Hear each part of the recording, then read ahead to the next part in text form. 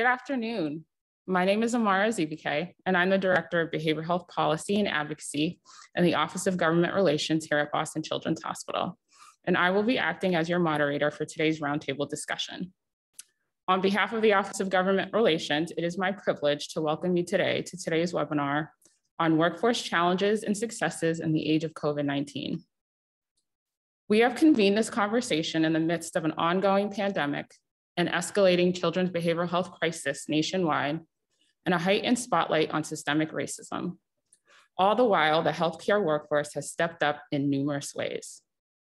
The goal of this session is to acknowledge that and to shine a light on the importance of supporting a robust, culturally and racially diverse workforce, given everything that we are collectively navigating. Before we begin and I introduce you to our esteemed panelists, I have a few housekeeping notes. For today's discussion, we received various questions with registration and we'll address these questions with the panel. That said, if you should have any additional questions during today's conversation, please type your questions into the Q&A box at any time, and we will try our best to get to those as well.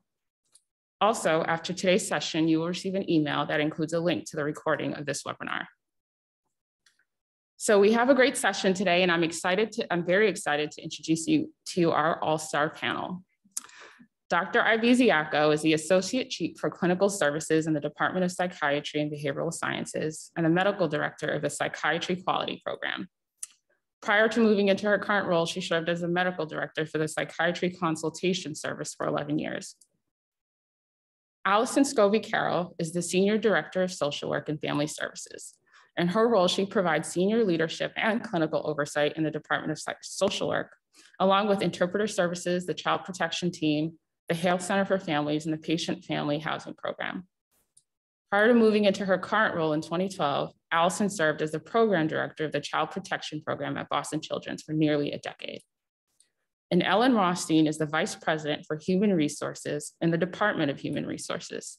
Prior to moving into her current role in 2019, Ellen served as an Associate General Counsel in the Hospital General Counsel's Office for over 13 years.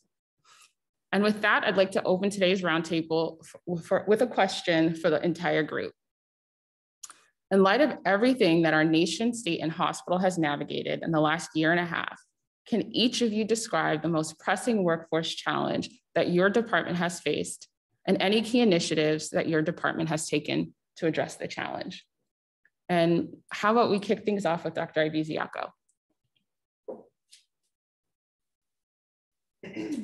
Thank you.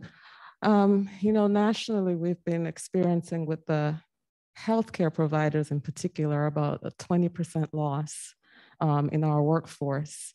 And there's been a lot of attention um, around mental health and the mental health crisis since the onset of the pandemic. But it's important to recognize that the crisis started prior to the pandemic. And so many of our providers have been facing really challenging um, working situations for a, really long time. And so it's, it's definitely all come to a head in the context of now 20 months of a pandemic that has really exacerbated um, mental health demands in children and adolescents. And in our department of uh, psychiatry and behavioral sciences, we have multiple disciplines, psychiatry, psychology, psychiatric social workers, psychiatric nursing staff. And all disciplines have been impacted by uh, the workforce challenges. And so some of the things we've been doing, one important thing um, is coming together as leaders to, to start to talk about how to address the issue across all the disciplines. For example, this morning I was in a meeting with our chief of psychiatry and chief of psychology around um, our psychiatry and, and psychology staffing. Allison and I have been in multiple meetings for months talking about psychiatric social work staff and celebrating our successes even just an hour ago. And uh, lots of uh, discussions with psychiatric, um, with our nursing leadership as well around psychiatric nursing staff. Um, and some of the initiatives that we've implemented include things like looking at compensation and making sure we make adjustments to ensure that we're competitive within the market across all disciplines. We've implemented things like bonuses and hazard pay for people who are doing double duty, taking on extra shifts during the context of this pandemic. We're looking at job designs and creating infrastructure for frontline staff, um, especially so that they're not um, too burdened by ad administrative tasks. Um, and then, of course, we know that our institution has been expanding mental health services. And one of the important things we, we have been doing is trying to engage our staff um, in the strategic planning efforts and giving them some insight about our long-term and short-term goals so that they have an appreciation of the fact that we're not just dealing with this crisis in the short term, but that we have long-term plans to address them. Thank you, Dr. Ibeziako. I think I, we could kick it to you, Allison. Sure, thank you so much. Um, I don't want to duplicate anything that you said, so I'm going to talk about another aspect of challenges that we've been facing. So certainly in the context of the pandemic, one of the things that we've seen is that people have had to take on roles that are really different from the ones they were initially hired for. So people in interpreter services were instrumental in being there to, you know, clean masks and welcome people, for example. Um, the Center for Families completely changed the way that it, it runs um, in terms of its physical environment. Um, additionally, you know, how we did patient family housing had to very quickly pivot. Our interpreter services, in addition, had to switch to doing telehealth and having a call center so that they could respond to the needs of Spanish speaking families in particular who were um, disproportionately negatively impacted by the shift to telehealth. Um, so we saw the stress and strain of having to really change your role over an extended period of time. The same was true for volunteers. We have the workforce challenges associated with changes in the marketplace. But additionally, all of the areas that I oversee, including those in the context of the behavioral health crisis, are they are serving families who have been disproportionately negatively impacted by this crisis. So social workers, interpreter services, family housing, the Center for Families, they serve the very, the primary group that they're serving are those who were more likely to be negatively impacted in terms of job loss, housing loss, um, the mental health crisis, um, is, is a universally expected one. But when you have other societal and social pressures that are um, undermining the sort of well-being of a family, you're going to see those, those populations more likely to find their way into our emergency room in crisis. And so our staff have been responding living within the pandemic themselves, living with their own stress, but additionally, serving populations that already we're really navigating disadvantages of every kind, all the social determinants of health, and unable to solve for them what was going on. We couldn't fix the pandemic. We couldn't make restaurants open up again. Um, and um, and really, that means that the, the focus was, in terms of social acuity was very, very high. And these are social problems that are very resistant to individual intervention. So that creates a real sense of um, powerlessness, helplessness by proxy as you try to intervene on those kinds of social problems. And that is very, very wearing. Um, typically, we have a balance of successes. We are enjoy the social connection that we have as we're interacting with patient families. And we weren't able to do that because masking, social distancing, telehealth, et cetera. So a lot of the things that typically came in to gratify and offset that hardship and acuity were also inaccessible. So the recipe is a tremendous, what that means is a lot of fatigue for folks and a sense of, of powerlessness, which really can contribute to feelings of burnout. Mm. And so thank you. We'll, we'll kick it over to you, Ellen, who's in human resources and must have been feeling this across the board at the hospital. Yeah, absolutely. Uh, so it, it's interesting, you know, human, we think of human resources and uh, all of the different ways that the work that the department touches the entire hospital. And, and, you know, when I hear about staffing and I hear about, we talk about burnout, but, you know, all of the different areas. So obviously we we we help to recruit people, we help to retain them, we help to pay them, uh, we take care of their benefit, we provide benefits, and uh, and and then in particular occupational health services, which is also part of human resources, which has really been the front line for our, our staff to keep people safe um, throughout the pandemic. So I, I actually want to talk just a little bit about how we've been trying to support the whole organization and all the whole workforce because as we know the, the the one of the most primary features of the pandemic and the way that it's impacted people is that it's impacted absolutely every aspect of life. You know we've all had different crises in our lives but i don't i can speak for myself. I can't i cannot recall in my lifetime any crisis that has impacted everybody's life in every possible way from how you care for people, how people go to school, how we take care of our own health care, how we get to work, where we work, what time of the day we work. everything has, is is touched every single day. You, you, you try to you try to turn your pandemic brain off for 24 hours. It's really hard. And I think that one of the things that we've really tried to be extremely conscious of is the whole employee. And when you come to work, when you're working, you, everything that's going on in your life with the pandemic is coming in with you, and you're dealing with not just whether it's COVID within the workplace because you're a frontline healthcare worker, but if you're working remotely uh, and you don't have a place for your kids, you, or if you have to come to the hospital and your transportation has changed, your childcare issues have changed, elder care issues. So throughout the whole pandemic, we've really, within the department, worked really hard to have a multi-pronged approach to supporting employees, and that has involved um, uh, compensation programs and in particular leave programs that took care of people um, throughout the uh, um, the first half of the pandemic and then continuing uh, onwards.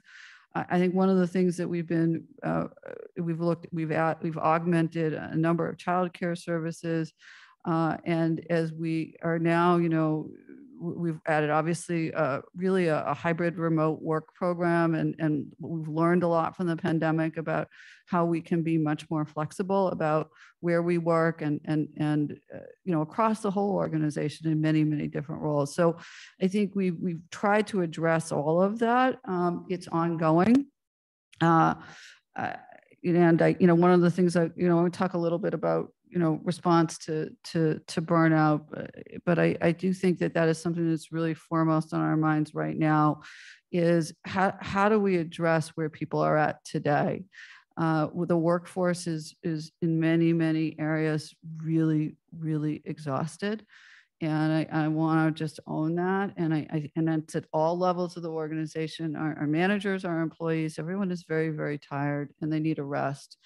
Uh, and so how do we take care of each other and how do we within HR look to ways to, to try to help people? And, and one of the things that we just added in our benefits program uh, is uh, six free mental health visits. So we're waiving copays. So that's new to ensure that people are taking care of themselves.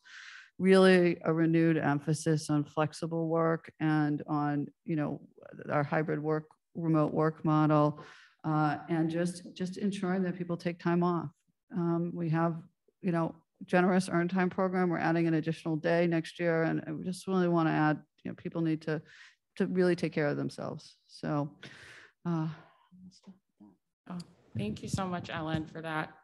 This next question is for you, Allison, and you sort of alluded to this in your first response, but the impact that the social work department has oftentimes goes beyond physical and mental health, but also touches the overall social well-being of our patients, reaching into their homes, their schools, and communities.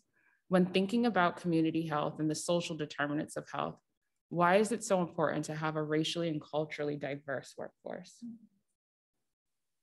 Well, thank you. That's such a great question. Uh, of course, we are in a process of change and um, increasing awareness as a as a society and as an institution of the importance of diversifying our workforce for so many reasons. And the first most fundamental reason is that it's about having the best of all of us here in this organization and having representation of our entire of, of all the cultures and languages that make up our community and the essence of that is reflected in a diverse workforce.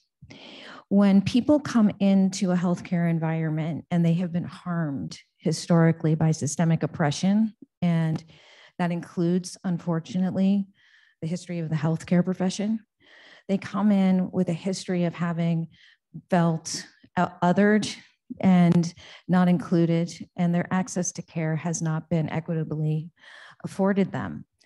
So when we have a diverse workforce, culturally, racially, linguistically, in terms of identities, um, all the different forms and way in ways in which difference can be reflected, people who come in for their care have a sense of being understood, a sense of belonging, a sense of safety, um, but also they will see in the institution that we truly believe that um, social justice is important and that we're willing to challenge sort of the status quo and um, diversifying our staff is a reflection of, of that.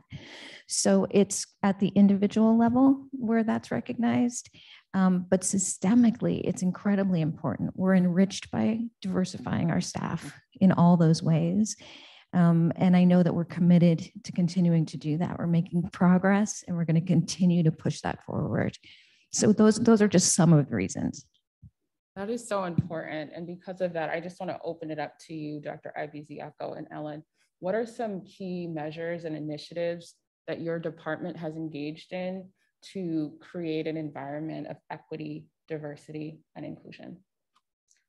Sure. Well, one of the most important things is just in the provision of clinical care. And we are regularly and proactively taking into consideration the impact of race, ethnicity, gender, and other cultural conditions on clinical presentations, particularly making sure we correctly have uh, diagnostic formulations, uh, understand issues around access to care, and also understand the impact of healthcare providers' behaviors towards our patients.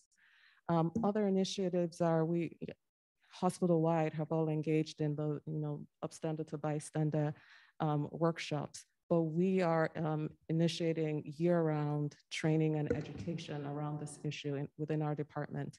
We've also um, developed a new psychiatry, health equity, and diversity inclusion committee that is going to be looking at these issues around all of our missions, clinical, research, training, advocacy, policy, community work to ensure that we're doing things appropriately when it comes to health equity.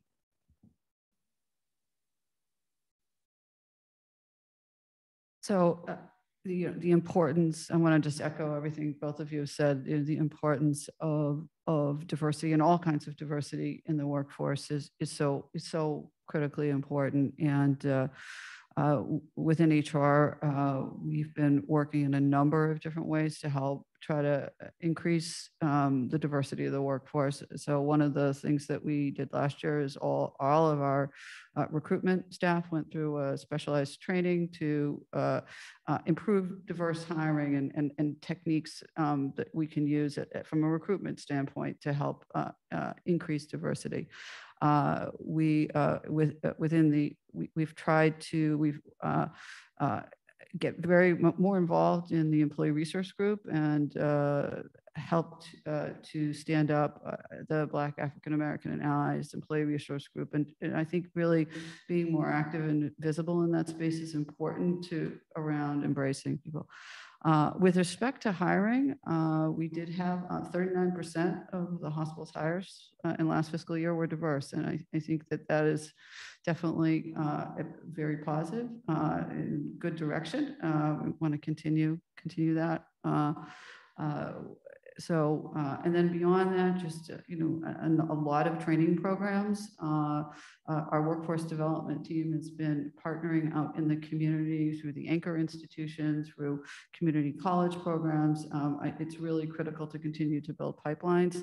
Uh, that is that is one of the most successful ways that we can uh, increase diversity. And then lastly, uh, I I could go on for a, while on this, but I do want to just note that one of them, uh, I think one of the things that's very important is we hired a chief diversity officer. Um, uh, Rich Robles, uh, who just joined us last month, and we're really excited to have him so that to continue what we're doing to promote um, equity, diversity, and inclusion for our workforce. Thank you all. Um, Dr. Ibeziako, pediatric behavioral health in particular is appropriately getting a lot of national attention right now. And as a leader in the pediatric behavioral health workforce, what would you say can be done from a systems or policy perspective that can support the behavioral health workforce and also increase access to care for children? Wow. Uh, I will just focus on a couple of things because, like Ellen said, I can go on all day around this topic. But, you know, I often say how care is paid for impacts how care is delivered. And reimbursement continues to be a major issue when it comes to mental health care. Um, hospitals are doing what they can to try to expand services. But if they're not adequately reimbursed for mental health care, then they lose money and then they're not incentivized to continue to provide good quality care. It impacts salaries, it impacts the workforce as a whole. So mental health reimbursement um, is a major issue. The other is still under the umbrella of, of reimbursement, but recognizing that when you're providing care, mental health care to a child or adolescent, there is more than just the face-to-face care that goes on um, with provision of good, effective care. You need to do a lot of care coordination and collaboration, and a lot of that work is not reimbursed. Um, and we also need, um, from a policy perspective, to address that and address some of the inequities and disparities with mental health care, such as um, prior authorizations being um, required for urgent psychiatric admissions, but not for urgent medical admissions. Mm. Um, so, you know, the list goes on, but these are just some examples. Systemically, I will go, go back to the issue of training. Um, right now, what's happening as we're all trying to expand the mental health workforce, I'll speak within Massachusetts, is that it just feels like we're circulating the same clinicians. You know, we're all borrowing from our institutions to try and staff our programs. And we need a longer term training and education plan for our workforce. We need to expand training programs across all disciplines and even for those who do not go into mental health and consider themselves mental health providers, we still need to expand the mental health curriculum in medical schools and nursing schools and separate this whole mind body dichotomy and have people understand if you're taking care of a patient, you're taking care of every aspect of them, including their emotions and their behaviors. Because what's happening now is that we have many healthcare providers who have these patients and don't have the training or expertise to know how to manage them. We also want to expand um, the ability of other providers, such as primary care providers and pediatricians, um, with regards to their ability to provide mild to moderate um, services for, for patients with uh, mental health needs. So those are just some of the examples. Wow, there's no shortage of things that need to take place to really address this massive problem. And that was evident in your comprehensive response, Dr. Ibeziako. Um, this question is, this next question is for Ellen. As a leader in human resources, how has the so-called great resignation shifted our strategy as a hospital to support the workforce? So this is a topic we've been talking about a lot uh, within HR, daily, hourly, by the minute, uh, and of course across across the hospital. I want to just start by just trying to define a little bit um, what we mean by the Great Resignation. I'm going to talk about it a little bit more broadly. It's a catchy term, but I think really Eh, eh, you need to unpack it a little bit more and say, okay, what's really going on with the workforce right now? Because we're in the same way that the pandemic itself has been an unprecedented experience, what's happening in our current labor market is unprecedented. I, I want to go back to something, Dr. Ibeziako, you said at the very beginning. What we're experiencing today didn't start 20 months ago. It started long before that. When we, at the beginning of the pandemic in February of 2020, we had the lowest unemployment rate in the United States in 60 years. Unemployment in Boston area was at 2.2%.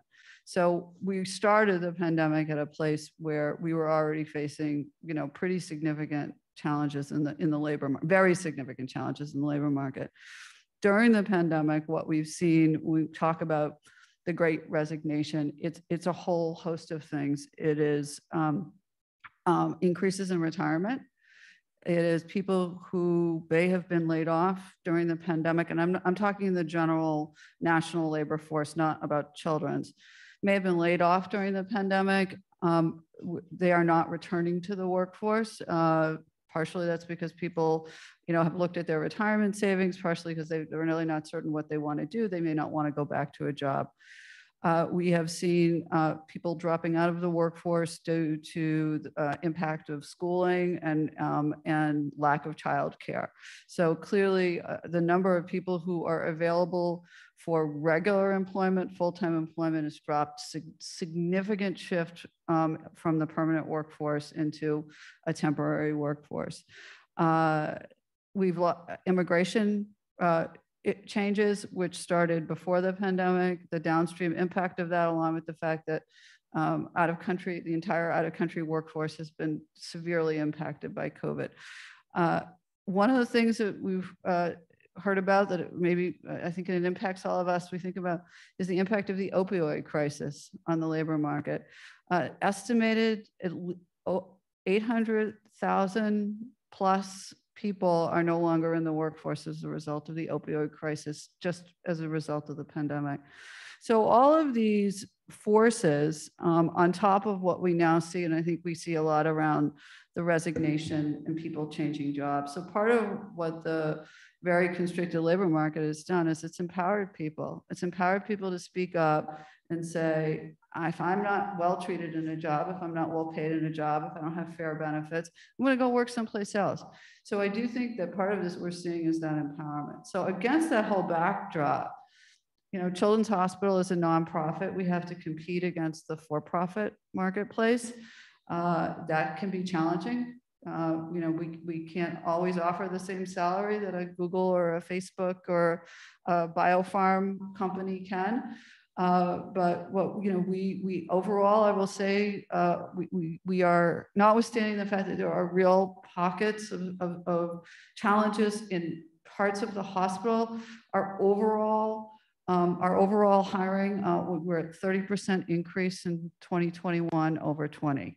So uh, we are working really hard to meet that. Uh, our turnover rate is uh, um, down and it is uh, relative to other hospitals who have seen as much as 35%. Our overall turnover rate uh, is, is low compared to our peers. Uh, so we're trying to address staffing through, through retention. Uh, and I would say overall, with respect to recruitment, we are adding recruiters to ensure we have more resources.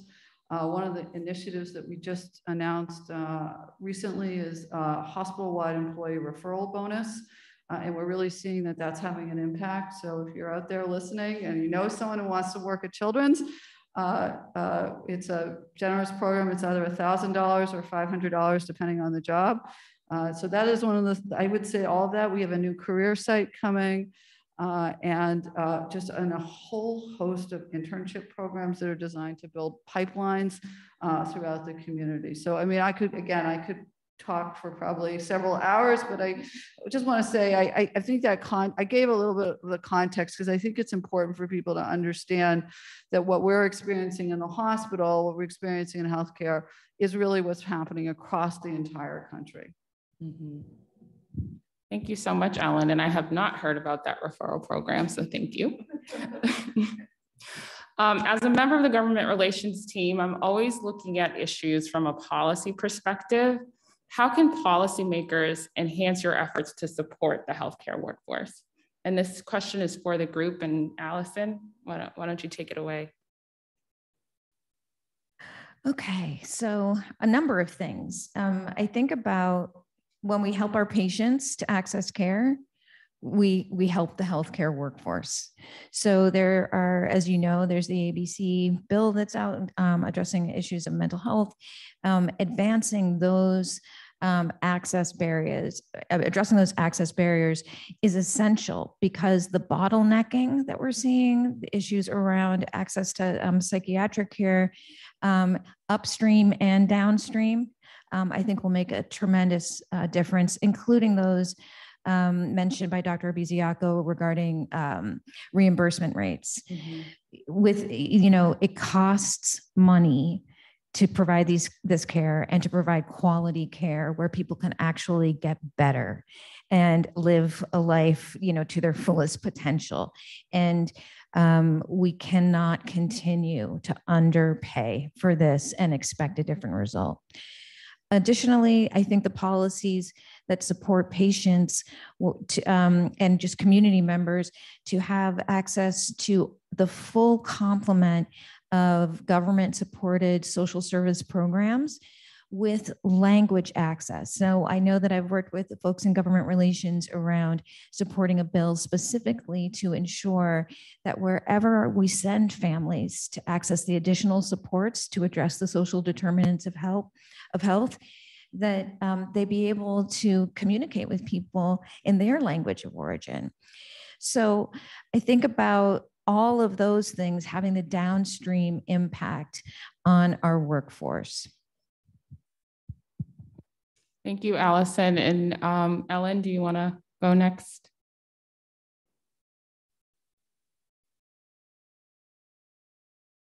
Always hard to follow Allison on policy. I'm trying. Do you want to repeat the question again so I can reformulate it? For, of course. For... I, am interested to know um, how policymakers can support you in supporting the workforce, the efforts that you're making as a leader in human resources, what sorts of policy measures and and systems change can policymakers help us with in terms of um, implementing some of those measures?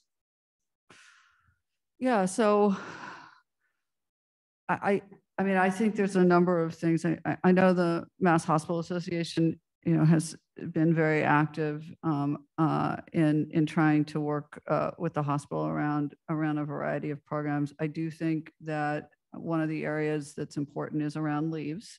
Uh, people, we, we have a very generous leave program within the state of Massachusetts. It's very supportive. Our employees, I think, are using it a lot, and that's they, they need that. I would say, from a policy perspective, uh, employers need a little bit more flexibility within that current structure to be able to design and implement pay programs that support um, and uh, that support employees and don't penalize employers for being being more generous than the law requires. And I, and I, we've we've been really challenged um, in some respects in that in that area. And so, eh, you know, I think sometimes from a policy perspective, uh, very well intended, but I, I think eh, that's an area where I would would see us having um, really I think a policy opportunity is is is to is to join with a well-intended statute, but give employers the tools that they need to be able to implement that. Uh, I, I think beyond that, uh, I, I those that's what comes to mind. I, I would want to get to put a little bit more thought into that. Maybe we have another panel and we can come back and talk, talk some more about about how how uh, state and federal policy can can help us with the with the current with the current climate. I, uh, I'll, I'll put my thinking cap on a little bit more, more. Thank you, Ellen. And Dr. Ibeziako, you spoke about parity, you spoke about reimbursement rates. Is there and, and training and pipeline initiatives? Is there anything else that you wanted to touch on from a policy perspective? Um, you know, one of the things that has worried me with this crisis is that because of the gap in services, there are lots of well-meaning people stepping in to try to bridge that gap with that gap with lots of innovations. And from a policy perspective, I think it's important to have some kind of regulatory oversight of the initiatives and care models and you know innovations apps and whatever else um, is being delivered and to make sure that the care is safe it's evidence-based it's effective it's patient-centered it's equitable so that's one thing mm-hmm. The other is um, with regards to specific patient population. You know, all of our patients are, are, are, vulnerable, but there are specific patient populations in the mental health space that are even more underserved than others from a type of patient um, pr clinical presentation perspective. And two groups include patients with neurodevelopmental dis disabilities who are extremely underserved in the state of Massachusetts and patients with comorbid medical conditions. Mm -hmm. And we would really want policymakers to recognize our efforts in trying to expand services for this patient population, to use appropriate global data when mm-hmm. making policy decisions to make sure that these populations are not left out. Thank you for bringing that up. And, and particularly when you spoke of innovation that's been coming out of this. And this time we've seen an uptick in telehealth use, which is really important in terms of access, but also sometimes could breed, you know, further inequities. Um, what would you guys say about that? Um, I, I'll, I'll start with Allison. you. Um, I, am very concerned about that. I'm, I'm, concerned about it not just in the behavioral health space, mm-hmm. but I'm also concerned about that um, in terms of who receives telehealth. Um, telehealth provides a wonderful access opportunity. It removes a number of the barriers that, um, particularly people who are living in poverty, who are working poor, they don't have the ability to get out of work and spend the whole day coming to an appointment. They don't have a car. They're traveling from parts of the city that are not well served by public transportation. Um, they may not have um, family supports to make that possible. They risk losing their jobs if they come in. So there's tons of access barriers. And when you have an evening appointment via telehealth, that's amazing, right? And so I'm thrilled that that is part of what we can offer now, and then that there's been this adoption of that.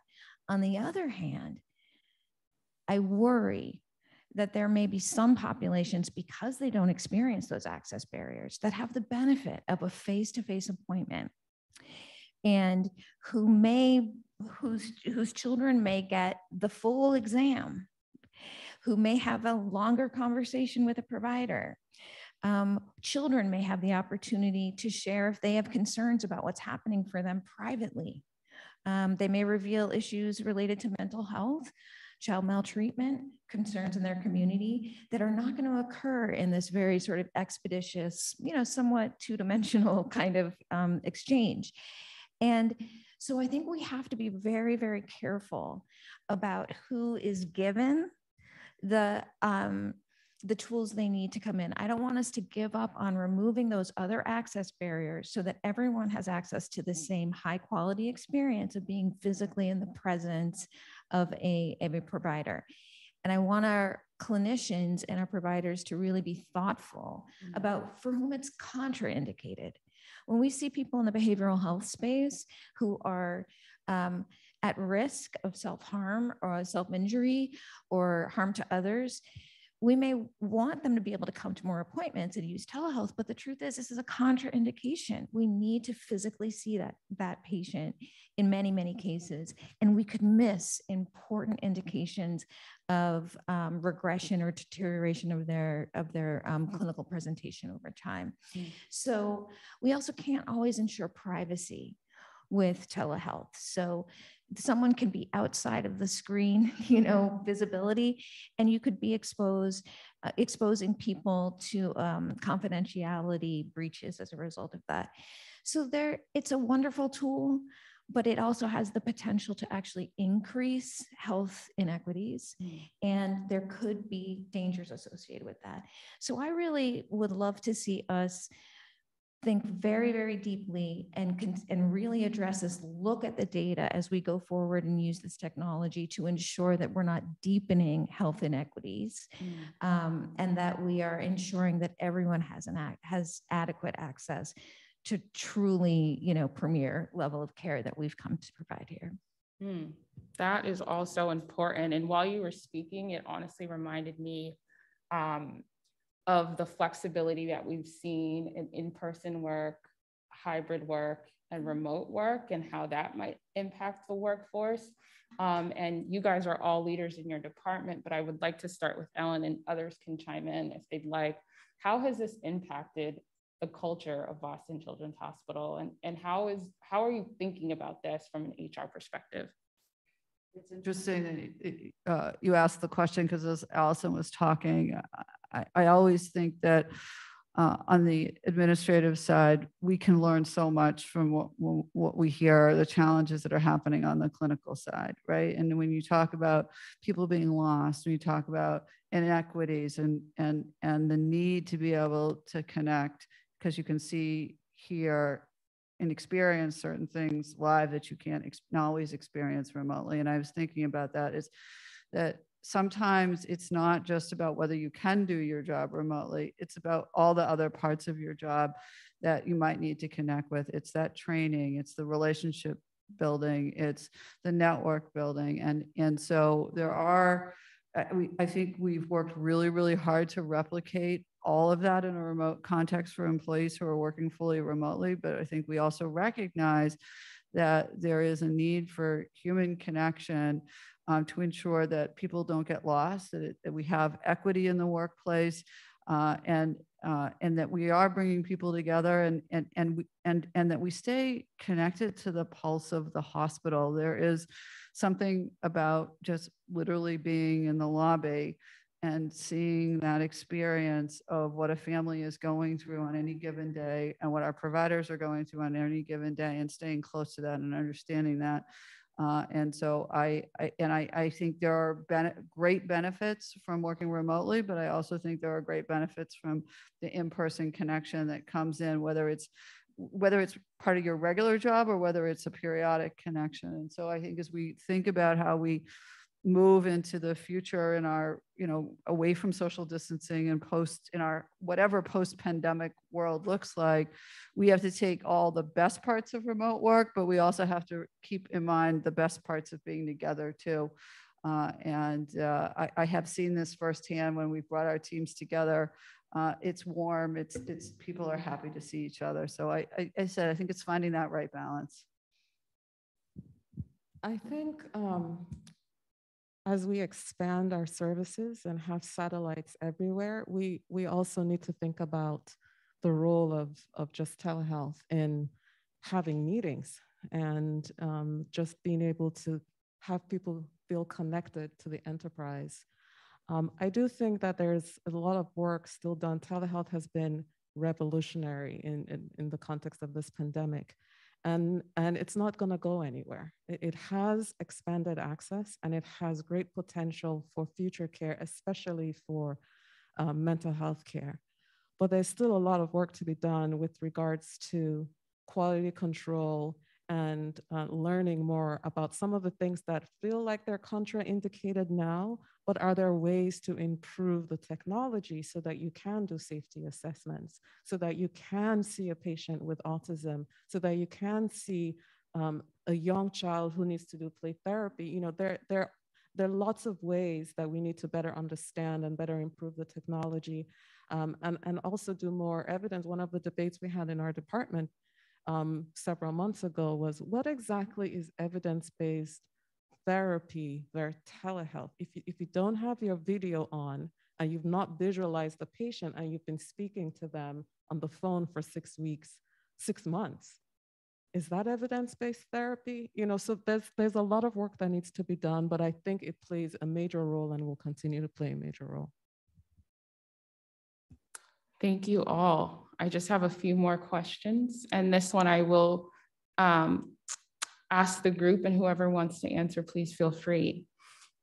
In healthcare, many, many workers are women, especially at a children's hospital, and they often are the primary, have the primary child care responsibilities or elder care responsibilities at home.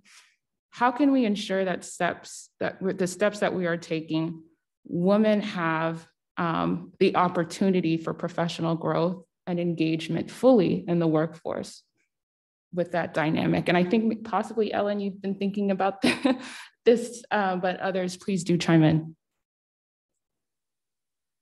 Yes, we definitely have been thinking about this. I, I want to just make emphasize that that this is the the the the need for an employer Boston Children's to be responsive to childcare needs and elder care needs. It crosses all genders. So it's it is, uh, and what we have seen, you know, overall in the larger market is that the pandemic has had a disproportionate impact on women in the workforce. That is, that is real. Uh, I think some of the things that we have tried to do just overall at Children's is uh, we quickly, right at the beginning of the pandemic, expanded um, our child care offerings uh, to provide more emergency child care services. Uh, I think uh, we've been working, I would say overall, to, you know, I talked earlier about the importance of schedule flexibility. I think that is really, really important and, and, managers and employees have to keep a very open dialogue so that we meet people where they are. Uh, and and because without flexibility, it's it's it's hard for everybody, uh, especially when you're dealing with you know whether a sick elderly relative, uh, a family member who might be living at home with you, uh, children, and, and we've really encouraged managers and employees to work together to find solutions. And I, I think that I, I, I encourage people to just continue to continue with that approach. A lot of solutions really are at that individual level. Uh, from a systemic perspective, definitely, you know, we want to see, um, you know, I think it's it's around the services uh, and at the uh, you know at the manager level and, and, employee level it's around meeting meeting individual needs. I think beyond that um, uh, we've been having some discussions about uh, you know more specifically you know what we do around uh, we, we certainly look closely at pay. We look close at, at uh, career opportunities for for for our employees and are you know monitoring kind of how we're doing so uh, that's sort of part of our day-to-day practice, uh, Mhm. and that will sort that continues with pandemic or no pandemic. I don't know if others have any thoughts on this one. Um, absolutely. Thank you so much for raising this. I think because um, such um, many of our critical patient facing roles are predominantly occupied by women who do typically um, assume the lion's share of childcare and elder care responsibility in their families. And not that's not to say that it doesn't happen in different ways um, but that's just statistically the reality.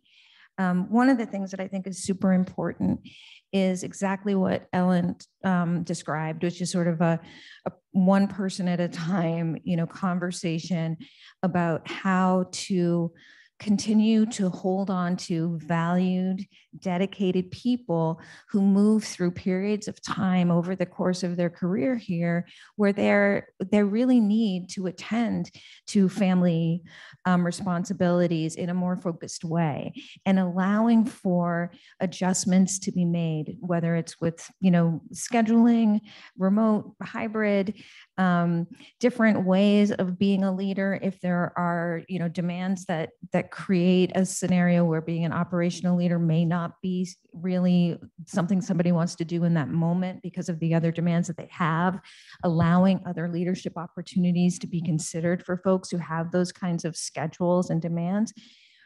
Over time, recognizing that that time is going to pass, and we want that person to, rec- to, to see that we value them we want to hold on to them and that there may be a period of time where their focus really needs to be family first and see them through that. And then when that sort of abates, which it often does after it may be years, right? and that they're still with us and they've got that institutional um, history and the relationships and awareness and deepening expertise from having been here that we will continue to benefit from. So I would like to think about that long view of, of an employee over time or a staff person over time and trying to sort out that be, it doesn't have to be a zero sum game that you you don't develop and, and move into leadership roles simply because you have other caregiving responsibilities. We can find ways for people to do both um, you know, collaboratively. So setting that tone and inviting those conversations, I think is extremely, extremely important.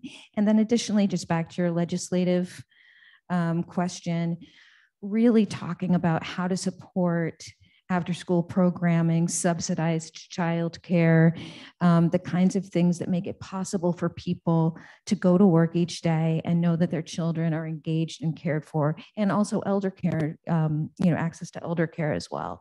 So those are broader social programs that I think could use some bolstering um, across the Commonwealth. We're running out of time, but one of the things that I, I think we should also take into consideration with this discussion is the impact on opportunities for advancement.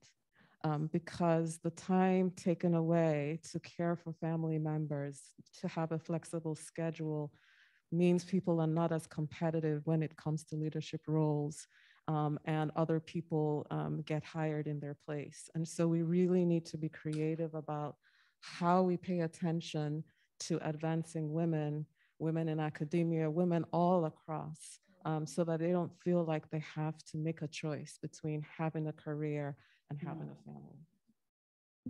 Thank you so much for that. That is so important. Um, and I will close on a positive note um, with a question for the group. I would say, what is something that has come out of this challenging season that you would say is a bright spot or a silver lining in a word or sentence? And I'm happy to start with you, um, Dr. Ibeziako. See me laughing in, in a word? or sentence or sentence.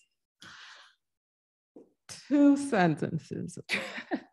One is breaking the stigma and the impact of talking more about mental health and raising awareness and the mental health advocacy. That has been huge in the context of this pandemic. Okay, that was two sentences. the second is resilience. One of the things I'm hopeful for, aside from resilience in our patients and families and children and adolescents who have gone through this huge adversity, is that as an organization, we come out of this learning important lessons and becoming more resilient as an organization so we continue to attract and retain the brightest and the best. Thank you. Looks like you want to go, Ellen. First of all, I'm incapable of a two sentence response to any answer. If anyone, everyone knows that. I, I, I think just am incredibly proud of how our hospital has worked together to support each other over the pandemic. Uh, the amount of care, love, support under the most trying circumstances that people have given each other, not just our patients, but each other, is just uh, ice moving and it, it has been in every single corner of the hospital and it has been really hard and people have stood by them they've stood by their colleagues they've stood by um, each other and I, I i just think it's that sense of just enormous pride um, I, I would put that number one as as what i would say as the pandemic has given us as a as a, as a gift uh, I think we had it here before and, and, really, really strongly, but I think we've seen it in, in, in so many different ways um, throughout the last, last 20 months.